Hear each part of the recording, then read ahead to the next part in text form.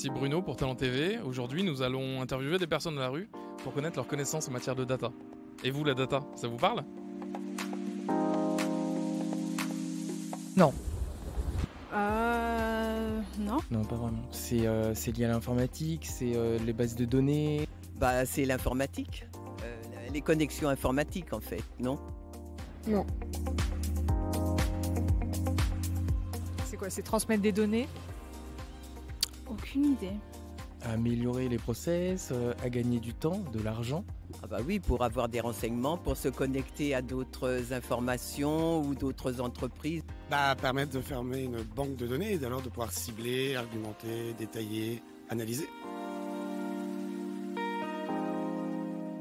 Alors sans doute, mais sans le savoir.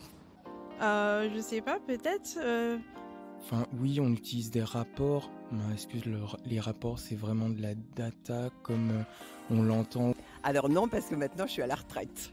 Fois, oui. Quand j'étais, quand je travaillais dans la recherche, oui, effectivement, on l'utilisait énormément. Comme ça, je dirais que ça me rebute. Euh, ça m'intrigue. Savoir comment la collecter, comment la garder, peuvent après des questions de droit. C'est toute la RGPD, la réglementation générale pour la protection des données.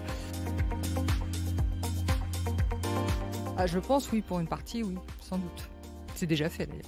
Euh, Dans 10 ans, bah, on avancera enco- encore plus, il y aura certainement encore plus de statistiques. Euh, Peut-être qu'il y aura une perte de sens même, euh, tellement qu'il y aura de données. Oui, absolument. Ça devient un outil nécessaire et indispensable. hein. Mais la data, non, ça va effectivement se, se propager euh, et aller même dans le moindre petit recoin des besoins personnels. Profondément. Pendant des années, on était en manque de data. Aujourd'hui, on est en surplus de data. Et dès lors, je pense que les entreprises, que ce soit euh, dans la banque, dans la finance ou même dans la gestion de l'organisation, ce qui va leur permettre, entre, entre autres, de faire la différence sera la gestion de leur data.